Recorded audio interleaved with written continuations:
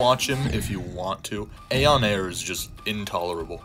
He he's the most unfunny, most punchable person I know. Nothing he does is entertaining or funny in the slightest. It annoys me to know to an extent like I have never been annoyed before. It's terrible.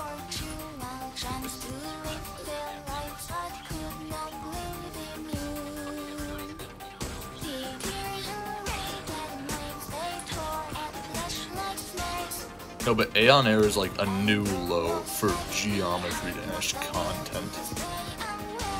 It's it's the worst stuff.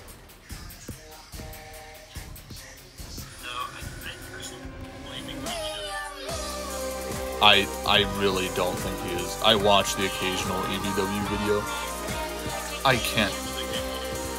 I can't watch Aeon Air. I can't.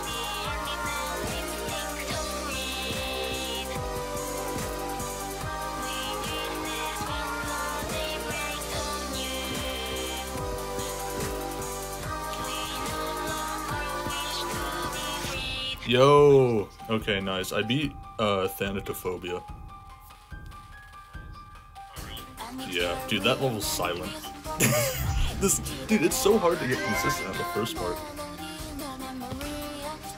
But I'm glad I beat it, and I actually, yeah, I mean, it's it's like it's not that hard. I'm not I'm not gonna be that kind guy who says like, getting far, mute your mics, leave the call. Like, come on, that nah.